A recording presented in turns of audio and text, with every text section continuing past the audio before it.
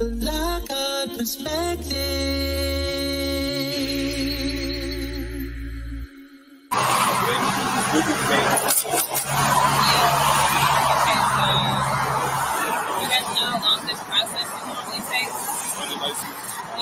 Couple hours, probably.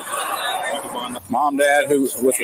What's your Okay, okay. Connie, nice to meet you. So, Corporal Clark. Nice to meet you. What?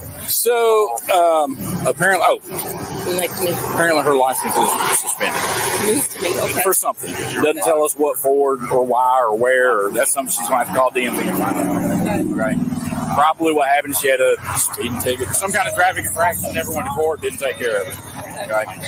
Um, that's the best guess. So she's gone over to Fayette County Jail, which is right in the Fayetteville Square. Uh, it's 145 Johnson Avenue.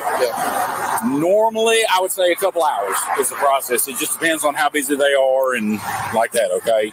Um, the driving on the suspended is uh, basically a traffic citation. She's got to have her fingerprints done, and picture taken, then she can make her bonds. You can pay it cash, use a bondsman, be 10%, whatever. Um, they've got a list of people over there too that you can choose from and use whatever. Where, where was she? Where was she stopped? So the vehicle's registered her, excuse me, registered to her. Um, I don't know if it was on a flock hit or if the officer observed some kind of traffic infraction. It wasn't me. I didn't make a traffic stop.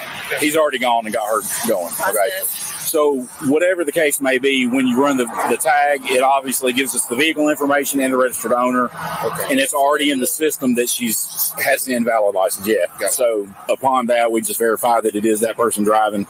Or stop the car first at that point. We don't have to know it's them. It's general assumption that the registered owner is the driver of the vehicle. Yeah. You know, if you stop it and it's not, okay, have a nice day. But uh, in this case, she was. So So, just are the keys to the car here? yes. Yeah, everything's here. Yeah, everything's in there. She has three numbers. I believe she gave. Let's say your number, a JC, and a third name I didn't hear. She'll allow to make. Well, she'll have to get three phone calls when she gets to jail.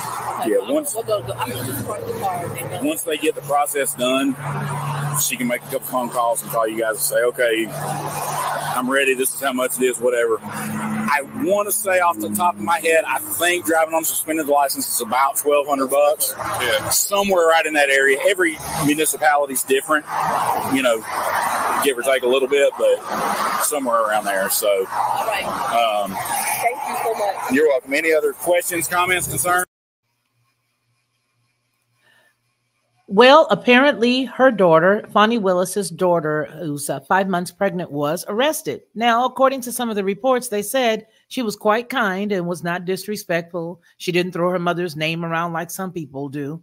But in this case, the funny part about it is that both she and Nathan Wade walked up there together even after she told everybody that they weren't dealing with each other at all. I find it quite curious that on August 24th, he was available and ready, riding around with her. I don't know, but he was available and ready to go with her to pick up a vehicle. Does she have anybody else that could go with her to pick up her daughter's car and drive the other one? I don't know, but I do know that it's quite curious and it's brazen at the same time in complete and utter Fani Willis fashion. Let me know what you think down below in the comments. You've heard my reaction and what I think about it. I want to know what you think. Don't forget to be respectful down in the comments, share, like, and subscribe. Take care, everybody. Hey everyone, it's me, Felicia of the Lockhart Perspective and Headlines with a Voice. I want to tell you a little secret. This is what I used to do because I don't do it anymore. I would go to the store, buy the barbecue sauce, pour it inside of a bowl, put a whole bunch of different spices, a dash of brown sugar, a dash of maple, and a dash of mustard, stir it all around, and everybody would be like, oh my gosh, this is the best, this is the best. But I was exhausted after all of that, and a lot of times I couldn't remember how many dashes of what I put in it.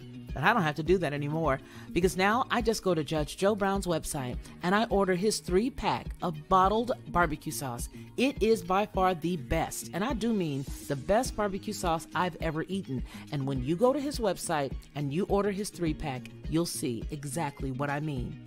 Head on over to jjbbbbq.com and order Judge Joe Brown's barbecue sauce. You'll be glad you did, and you're going to tell me about it. I know you will. Lockhart perspective.